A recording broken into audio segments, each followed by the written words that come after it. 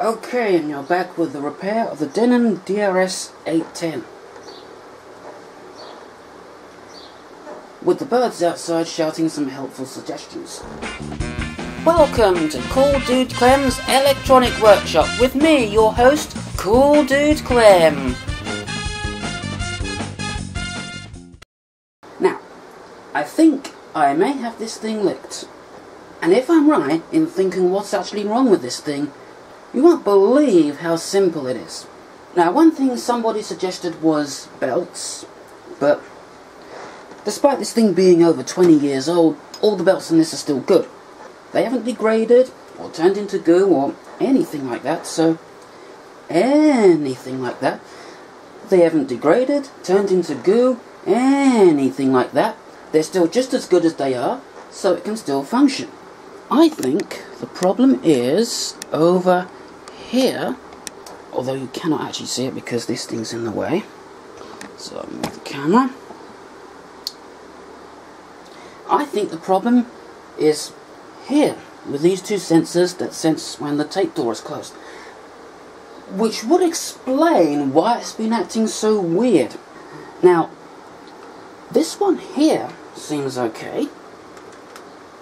If I put my meter on it and just test it for continuity, if I can just get my meter in there, just get my probes on there.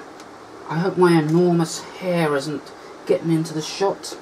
I'm just trying to get the motor, I'm just trying to get the probes on there. And I trip this sensor so it's where it would be when the tape door is closed.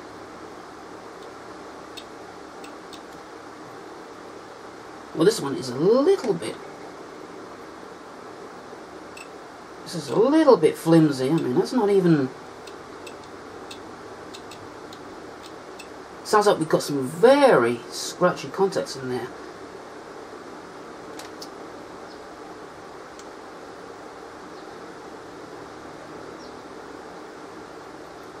So we've got one faulty sensor there, and I know this one is faulty. Although I think this one is not quite as bad.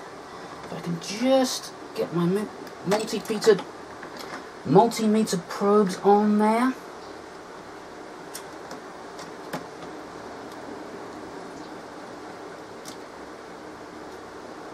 This is a time when alligator clips on my probes would be a really good idea. I'm trying to do, I really need like three hands to do this. So let's try this one. This one isn't quite as bad, but...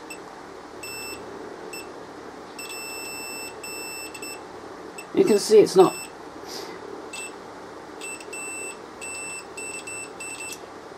We should be getting a constant beep out of the meter. And we are not.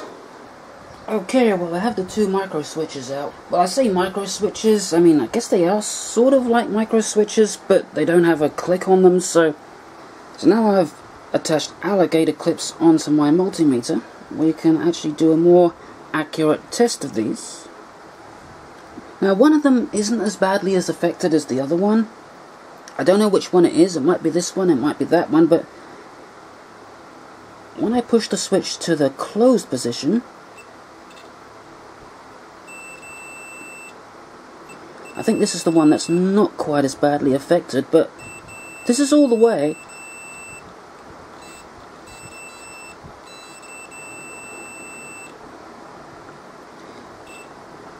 And you might be able to hear we're not getting a consistent beat with that one. And this one, which is, I know this one is the bad one now, the, the really bad one. This one barely works at all. Of course I say that and now it appears to be working. So I guess that was the worst one of the two.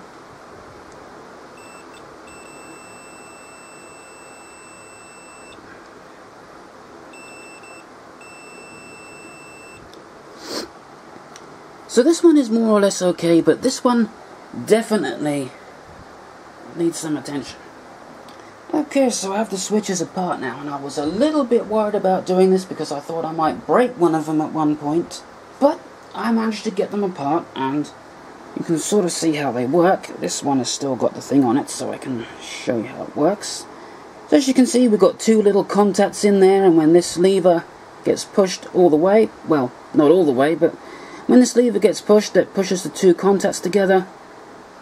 But what I want to do is take those contacts out, give them a clean, reassemble the switches, put them back in the tape recorder, and that should fix the problem. I also want to see if I can bend this lower contact, or rather this upper contact, up a little bit so it makes better contact with the lower contact. Alright, progress. Chess Magic. Still my favourite compilation of the King. Speaking of magic, I still have to work a little bit of magic on this tape recorder in order to get it to work. Now, I've replaced the two micro, well, put the two micro switches back in, and they weren't the only cause of the problem in this, although they would have needed attention sooner or later, so I'm glad I've done that anyway, but it is still doing that thing that it was doing before. If I try and play a tape, it plays for a few seconds and then shuts off. And one of you suggested that a bad belt was the problem. Now, though, like I said, all the belts seem good, this one here does not appear to be doing its job. So if I press play, I can see the counter going, but there's no sound, and it'll, it'll shut off in a couple of seconds. There it goes. But if I turn this wheel around the rest of the way when I press play.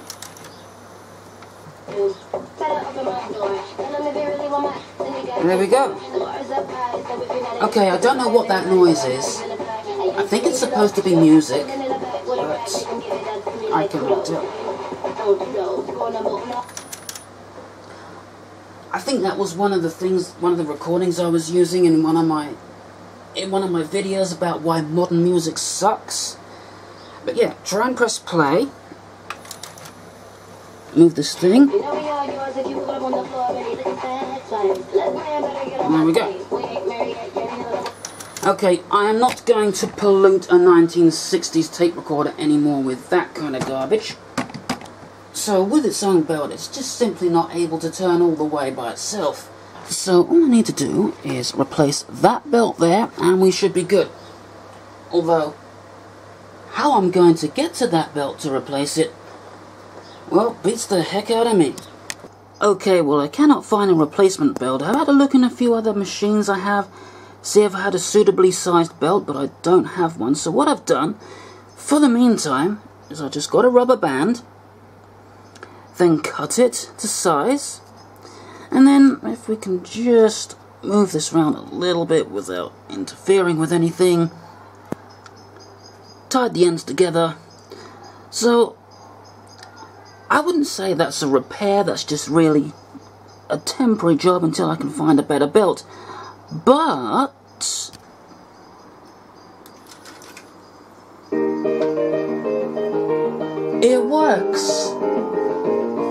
A happy little song in celebration of it.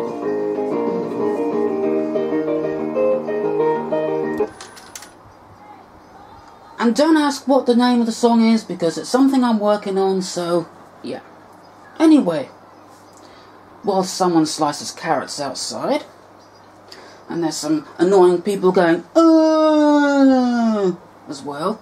For some reason, that carrot, for some reason, that chirp always reminds me of someone slicing carrots. I don't know why. Anyway, that's where I'm going to leave it for now, and hopefully next time you'll see this fully assembled and with a proper belt. But until next, but until then, and until next time, goodbye.